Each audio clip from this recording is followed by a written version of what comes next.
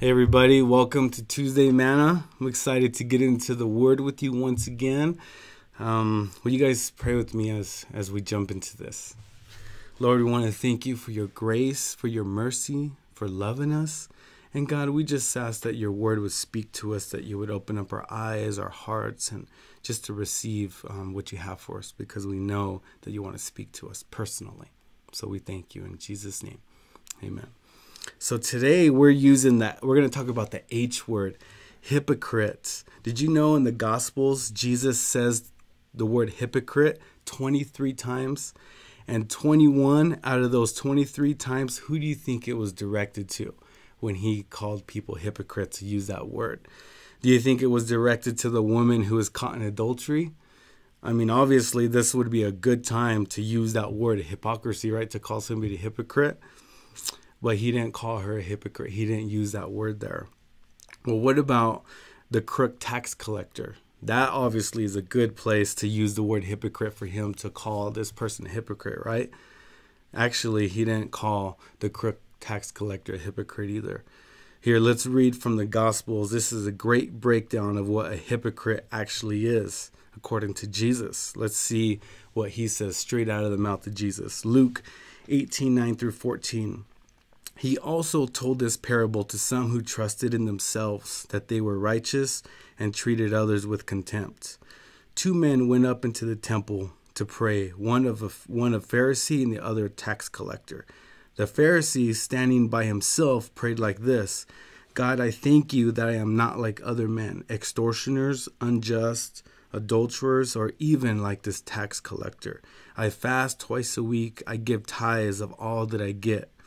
But the tax collector, standing far off, would not even lift up his eyes to heaven, but beat his breast, saying, God, be merciful to me, I am a sinner. I tell you that this man went down to his house justified rather than the other. For everyone who exalts himself will be humbled, but the one who humbles himself will be exalted. You see, Jesus said hypocrites 23 times. 21 out of those 23 times were directed to the Pharisees and the Sadducees, those who thought they were more righteous because of their actions or their deeds than other people. Verse 9 actually says that this that it says that it was for those who trusted in their own righteousness and looked down upon others. See, when Jesus was talking about hypocrisy, he's talking to those who who kind of look the part but don't have the heart. See, God's focus has always been your heart. It's always been my heart, and it's never changed. Do you want to know the kind of heart that God wants from us, from people? I'm gonna I'm not gonna read it, but Psalms 51. When you get a chance, I would encourage you to jump into into that book and read it, and it gives you great insight of of what God wants from us, uh, His people. See, if we proclaim to be Christians and we sin and we mess up, God wants us to turn away from sin, turn away from any any feelings that we have when we know, like, man, yeah, I messed up. When the Holy Spirit convicts us, we're supposed to follow that conviction. That's actually a gift from the Holy Spirit. So God wants you to turn away from whatever it is and turn your heart to Him. That, my friend, is not a hypocrite. Sinning and making a mistake that is not hypocrisy according to Christ. A righteous person falls seven times but gets back up again. Just because you fall does not make you a hypocrite. It's about what you do next that matters. See, let's see what the dictionary even says about a hypocrite. So the original meaning of the Greek word it means stage actors, one who wears a mask to play the part. Here, once again, Jesus addresses this with the elders of the synagogues and the temples of his time. Let's read it. Mark 7 1, 9, 1 through 9.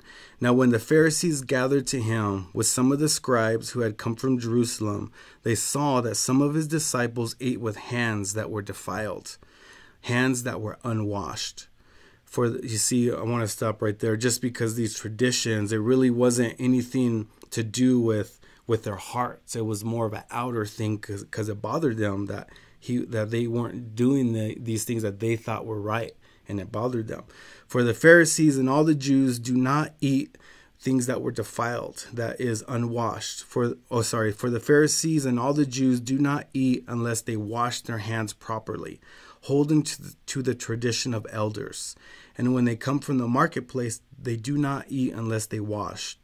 And there are many other traditions that they observe, such as the washing of cups and pots and copper vessels and dining utensils. And the Pharisees and the scribes ask him, Why do your disciples not walk according to the tradition of the elders, but they eat with defiled hands? And he said to them, Well did Isaiah prophesy of you hypocrites. You see, that's the word he uses it again, and it's not towards what we in our culture we think people who do certain things that like that just don't jive with us or whatever that we call them hypocrites but it's really for people who trust in themselves and look down on others for doing whatever other things.